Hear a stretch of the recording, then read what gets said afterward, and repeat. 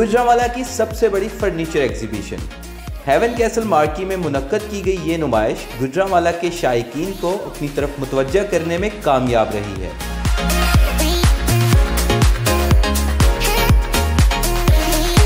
तीन दिन तक जारी रहने वाली इस नुमाइश में पाकिस्तान भर से मुख्तलिफ़ फर्नीचर ब्रांड्स अपनी मसनूआत के साथ शरीक हुए। गुजरावाला की आवाम ने इस नुमाइश का भरपूर तरीके से इस्तकबाल किया और नुमाइश के दूसरे रोज़ भी यहाँ शौकीन अफराद और ख़रीदारों का तांता बंदा रहा।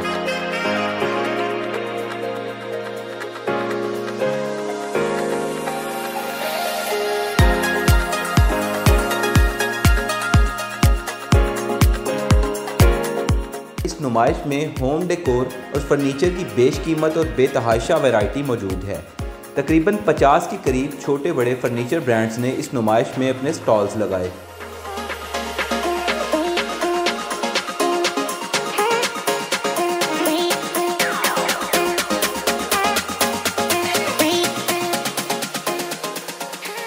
गुजरावाला में अपनी नौीयत की एक इंतहाई दिलकश और मुनफरद नुमाइश है, जिसने गुजरावाला के लोगों को अपनी तरफ़ भरपूर तरीके से मुतवजह किए रखा।